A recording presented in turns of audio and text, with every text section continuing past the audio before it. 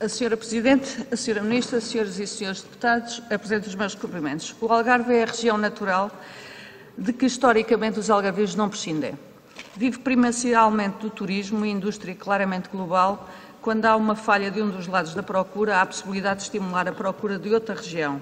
Com a pandemia deixou de haver procura e por esse facto foi uma das zonas do país que mais sofreu. Só com a sua resiliência e os apoios do Governo, as empresas e as famílias conseguiram sobreviver. Também é verdade que no turismo há um valor acrescentado que permite que se ajuste rapidamente. Por isso está a recuperar melhor do que outras indústrias e essa é uma mais-valia que deve ser valorizada. Com efeito, em janeiro registrou a maior taxa de ocupação homóloga dos últimos 20 anos por unidade de alojamento. Neste contexto, a acessibilidade no Algarve é estratégica.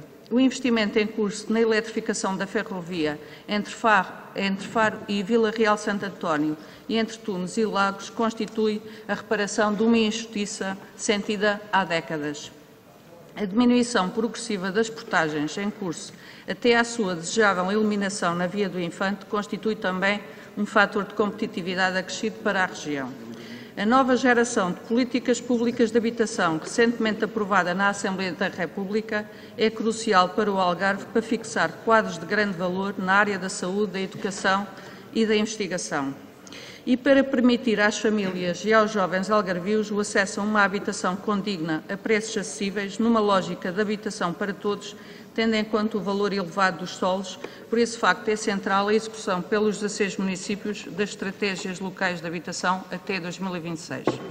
Sublinho, neste sentido, o investimento recente realizado pelo município de Vila Real de Santo António, que adquiriu pelo valor de cerca de 8 milhões e 800 mil euros, com financiamento a 100% do PRR, frações autónomas, para cerca de 70 famílias vulneráveis que estavam em risco de ser despejadas por um fundo imobiliário.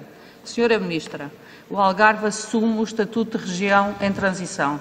No entanto, continua a apresentar fortes assimetrias de desenvolvimento socioeconómico no seu território Obrigada, entre deputada. o litoral urbanizado e o interior desertificado.